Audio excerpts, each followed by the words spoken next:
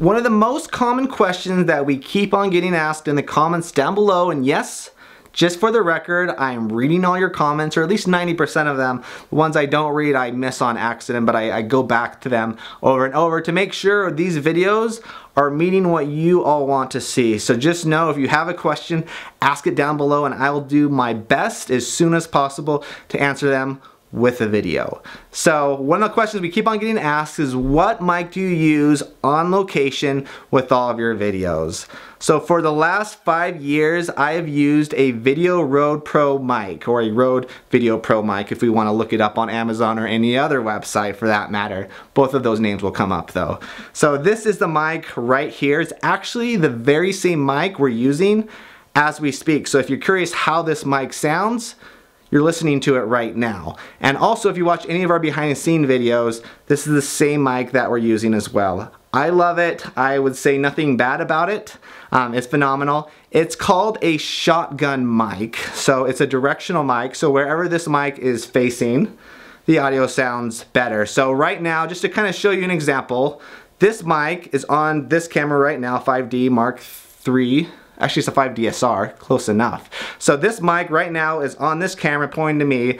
I'm gonna talk about camera settings and right now I'm on the side of the camera and right now as I'm speaking, I'm literally behind the camera and now I'm starting to walk back. My tone of voice is changing. Actually, it's not changing. It's changing on camera, but I'm speaking the same level. So you can literally see how the mic works. So when I'm behind the camera, it's not canceling the sound because the sound still exists in this space, but it definitely gets better wherever the camera is facing. So the kind of videos that we're shooting, this is perfect for what we're doing and it cancels out a lot of the sounds or at least lowers the audio around the settings that we're shooting in.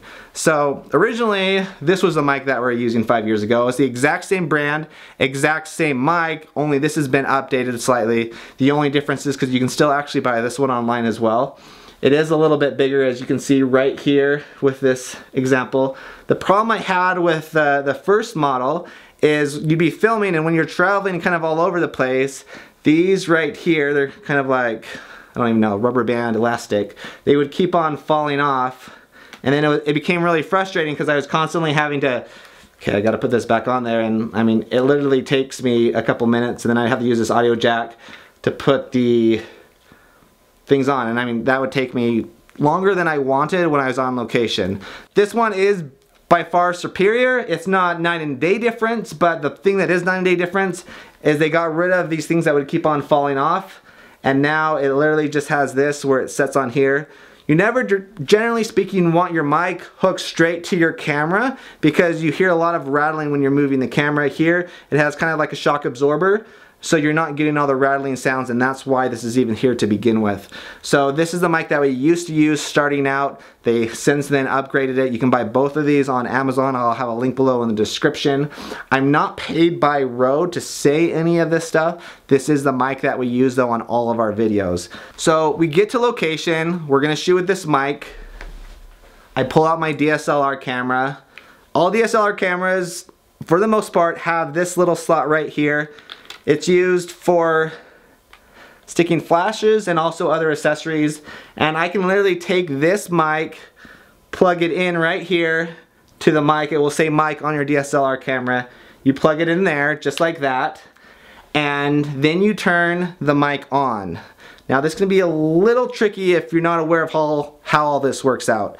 But this mic, it still requires a 9 volt battery. So you can put that battery in right here. And once you plug it in, you're literally just hooking it up so the audio signal can transfer to your camera and it syncs directly, instantly. And right here, I can turn my camera on, not the camera, you can turn your mic on. So the mic's on. Now there's two different switches for turning the mic on. There's a middle switch and then there's a far end one. I truthfully don't know the difference. I'd be making it up. I personally can't tell a difference though. I, I've shot both and I can't tell the difference as far as audio goes. After making this video, I didn't realize the technical reason for the other switch on the top of the Rode Pro mic. So I did a little bit of Googling and this is what I found out. The high pass filter, HPF, is a low frequency cutoff setting which you can use to reduce rumble and other low frequency noise picked up by the microphone while recording. It may affect the tone slightly, but in some situations it is recommended. So we learned that together. Now what I can tell a difference at is the other setting they have right here. They have negative 10 dB, 0, and plus 20 dB. So what that is doing, and everything that we're shooting, we're always shooting at zero. But if, let's just say it's a super windy day, you don't want this to be as sensitive to all the audio around you. So in the real world, in theory, you're gonna wanna turn it to negative 10 dB, so it's not getting as much wind sound, but that means you have to talk a little bit louder than normal so it can pick that up. Now let's say it's a perfectly calm day, there's no wind, but your subject is really far away and you can't be as close to them as possible that's when you'd want to go to plus 20. That's an example of when you want to go to plus 20. But generally speaking, everything that we're doing on our YouTube channel, it's always set at zero as far as audio goes with this mic. So other settings that you can change in your camera to affect what you're capturing here is you can manually adjust the audio or you can auto adjust the audio. For what we're shooting, because a lot of times I'll yell or I'll be really quiet, kind of all over the spectrum. So we set everything at auto. So there's pros and cons to that, but generally speaking, when we're just kind of running gun, we don't know what we're gonna be expecting. We have everything set to auto. Now you can change in your camera, you can have it go down and not have the mic as sensitive. That just means you need to talk louder. Or if you're gonna have the mic really close to something, then you're gonna wanna have it, I mean, just adjust according to where your mic's gonna be and how loud your subject's going to be. So always keep that in mind. Whenever we travel, we always have this mic with us. We always have it on all our DSLR cameras. You can also hook this mic to a red camera, but you also have to have another audio jack adapter, but this one is kind of the basic one for all DSLR cameras. They all have this audio jack. To my knowledge, as far as popular Canon and Nikon cameras go, and even Sony cameras, as a lot of people have mentioned in the comments that they have Sony cameras as well. So I love this mic. I have nothing bad to say about it. If it is a super windy day, you will pick up that wind without question. Another home cooked meal, guys wasn't expecting this all over again. So they have a, they call it a dead cat. For all you cat lovers, I don't know why, oh I do know why they call it a dead cat because it does look like a dead cat. But it's literally a screen that goes on your mic and it keeps the wind out better. Not perfect, but it makes it a little bit better. So you can also buy that online as well if you're interested in that. Um, don't Google dead cat because you'll probably see something you don't want to see. Um, but if you look up like Rode Pro mic, dead cat, or something like that, you're bound to find it. So I'll leave links below on where to purchase these things if you're interested in it. For all our camera equipment that we're buying as far as what I'm talking about right here, DSLR cameras and these mics, I'm buying all that off of Amazon.com. That's where we, we got this exact one right here. So I love it. One more warning that I'm going to give you, if you leave this mic on, the battery obviously is going to run out because it's a 9 volt battery.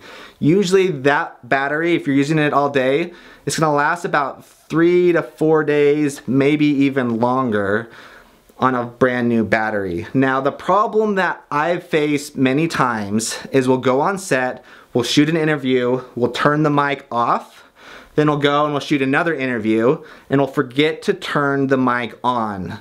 Even though this is plugged in, it does not capture the sound unless this is turned on. So we have a rule on set after several mistakes that several people have made that you do not touch this once you start shooting for the rest of the day so you never have to constantly check and see if you're still recording. And you also have to check here, going back to it, we shoot everything at zero because on accident sometimes if you're moving around, this can get switched and if you turn it to plus 20, which we have had happen once before, it made it so all the audio we couldn't use because it was constantly peaking. So just be aware of that. I'd constantly check it. What we have done in the past to kind of counter that is we've actually duct taped this so it can't be moved at all.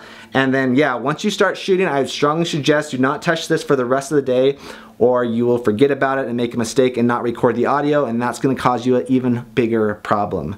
Now there's a lot more mics out there that you can buy. This one I feel is kind of the basic one for a $100, $150 price range that works phenomenal. It's the exact same mic we use for all of our videos.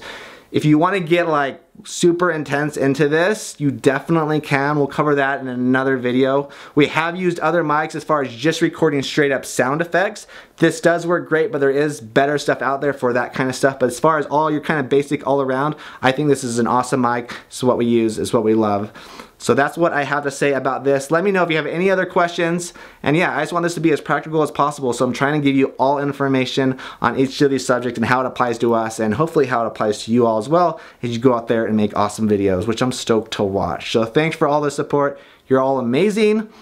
Links below in the description to all the things I'm talking about. As we always say, over and out. Yeah, wham, bam, super tramp. And I tipping up my hat while I boost the fans. And I hover up top, can you feel the noise? All the girls scream now cause they want the boys. Yo, making all the clouds looking like a big joke. When I run so fast and I sing so low. And you never wanna mess with me, you're just dissing me. I just set me free, so just stop.